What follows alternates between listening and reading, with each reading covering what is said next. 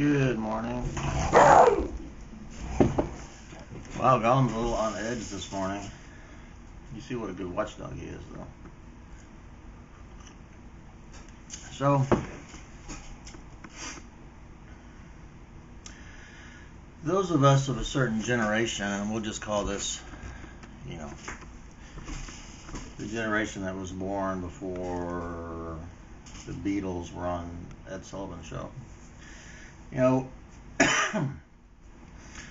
we uh, we were raised by parents that basically didn't want to know what was going on much in our lives, and uh,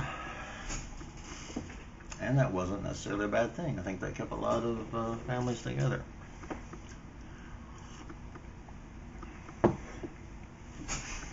But you know, my parents were raised in the Depression, and uh, you know, basically in that World War II generation, and that's the way uh, that's the way people were.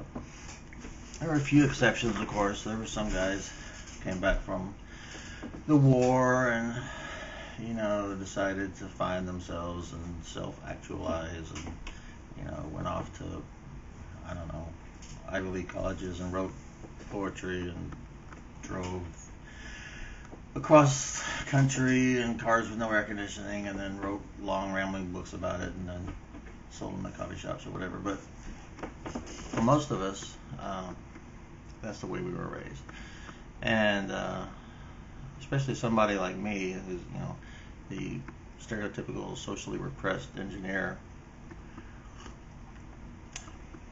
Raised by the stereotypically socially repressed mortician, uh, that was a pretty easy and natural thing to do. But when I became a parent, I decided that uh, you know we weren't going to repeat the mistakes of our parents. We were going to um, you know communicate, and uh, so uh, in raising my daughter, I always tried to you know keep an, an open dialogue and you know be the active listener and uh, became one of those really annoying parents that you you talk to like at work or whatever and they say oh you know i have such a great relationship with my child. We can talk about anything.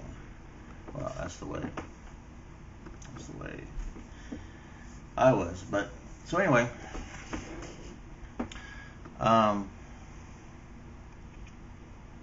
so anyway oh uh so they showed up last night. Uh, my daughter and the and the five uh, grandkids, uh, including a, a, sixth grandchild who's actually my oldest granddaughter's half sister, and who I've known since she was like three.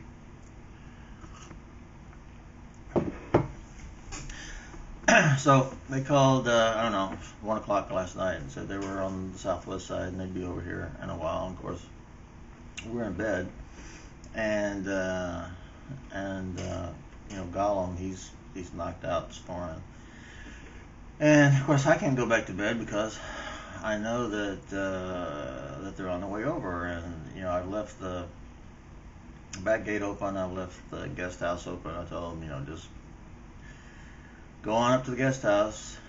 Um, everything's ready, but you know, things are usually not that simple with my daughter, so I expected that somehow someone was going to come and wake me up.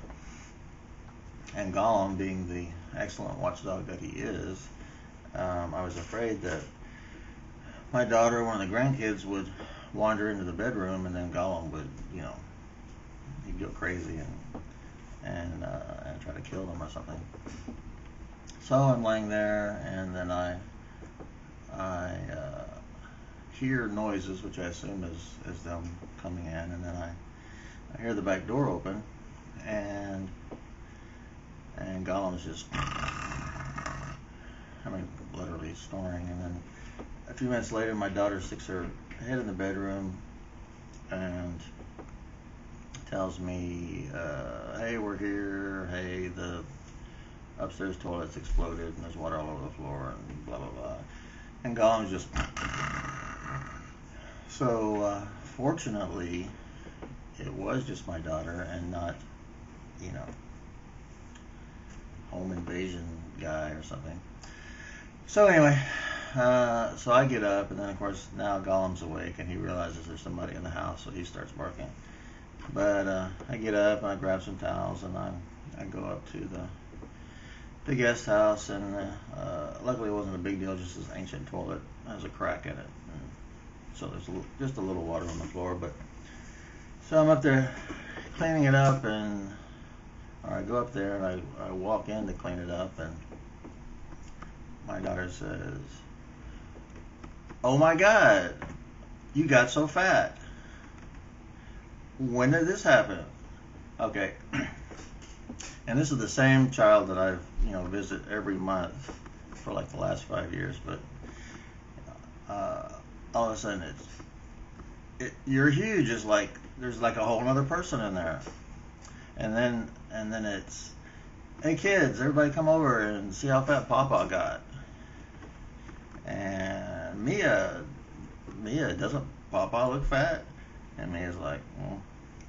And Junior doesn't doesn't Papa look huge now? And he's like, gee, Papa. And when Jayla, don't you think Papa's fat? And uh, Jayla, Jayla's thinking, okay, on the one hand, I've just been given permission to call my grandfather fat. On the other hand, there's this whole issue of birthday money coming up. So that, in her little brain, you can see those gears kind of, kind of come together and jam. So she doesn't say anything. And then uh, Ariana, look how fat Papa is. Ariana, go like this. So, uh, so that's what happens when you raise your children to feel that they can tell you anything.